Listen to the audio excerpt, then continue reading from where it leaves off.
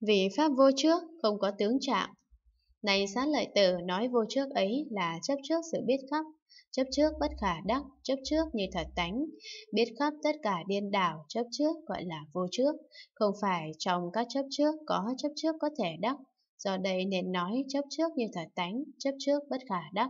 Này sát lợi tử, nói vô trước tức là bát nhã ba la mật đa, tức nói vô trước là tướng trí. Này xá lợi tử, các pháp đều lấy vô trước làm tướng, vì tướng các pháp bất khả đắc nên gọi là tướng vô trước, không có chút pháp nào vì khởi tướng mà hiện. Vì ở trong đây không có tướng nào có thể đắc nên gọi là vô tướng. Do vô tướng nên nói vô trước, nếu tất cả pháp có chút tướng ấy, thì ở trong đây có chấp trước có thể đắc. Vì tất cả pháp tướng đều không nên trong đây không có chấp trước để có thể đắc. Nói các pháp lấy vô trước làm tướng, tuy là nói thế mà không như thế, vì tướng vô trước không thể nói được.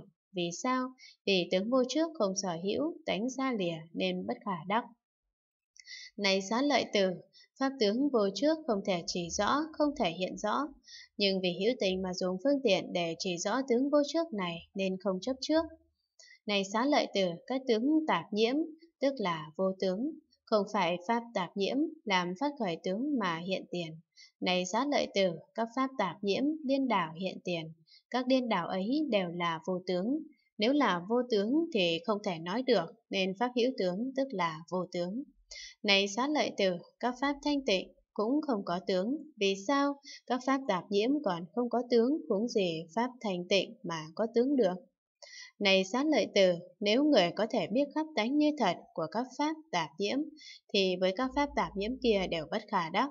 Nhưng các hữu tình do điên đảo nên khỏi các tạp nhiễm, các điên đảo ấy đều không chân thật, nếu không chân thật thì không có thật thể, cũng không có thật tướng. Nếu có khả năng biết khắp như thật, tức là thanh tịnh, các tướng tạp nhiễm còn bất khả đắc huống là tướng thanh tịnh mà có thể đắc. Thế nên hai pháp thanh tịnh và tạp nhiễm đều không có tướng không viên thành thật. Này xá lợi tử, các pháp vô tướng không viên thành thật gọi là vô trước, nên nói các pháp lấy vô trước làm tướng, vì tất cả pháp lấy vô trước làm tướng, nên nói là vô trước, phạm phu ngu si chấp tướng vô trước. Này xá lợi tử, như vậy nói Tất cả Pháp lấy vô trước làm tướng, và biết tướng vô trước này tức là chỗ hành của trí, cũng là chỗ hành của bát nhã ba la mật đa.